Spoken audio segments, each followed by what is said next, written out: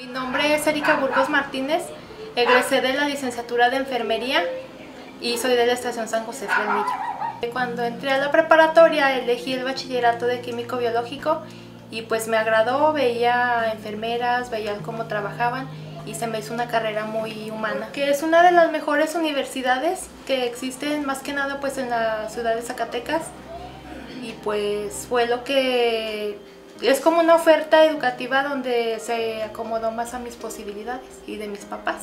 En Fresnillo no, había, no hay la oportunidad de estar estudiando, de ejercer una carrera, una licenciatura, y en Zacatecas sí nos ofrecen esa oportunidad. Bueno, por medio de familiares, tíos, primos que ya fueron egresados de ahí, eh, me recomendaron, me hablaban sobre cómo se estudiaba ahí, sí, pues cómo se trabajaba y me motivaron. Más que nada con las becas que nos otorgaron en la UAS. Yo recibí beca de hospedaje y de alimentación por medio del CASE, mm, las cuales nos apoyaron bastante, porque sin ellos pues no hubiéramos tenido la posibilidad. Ahorita estoy eh, haciendo mi protocolo para la tesis, para hacer mi titulación.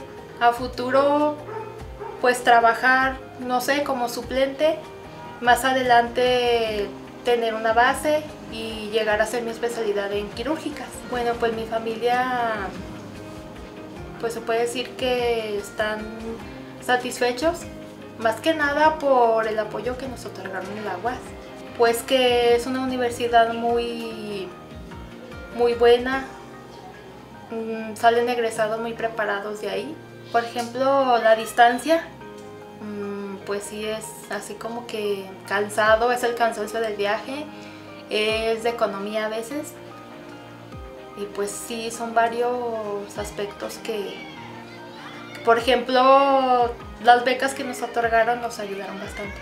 Pues es como formar parte de la universidad, pues que es como, es la máxima casa de estudios y pues es un orgullo pertenecer ahí, ya que pues no todos tienen la oportunidad. Significa, se puede decir que mucho porque como mencioné, no, no todos los jóvenes tienen la oportunidad de pertenecer a una universidad como la UAS.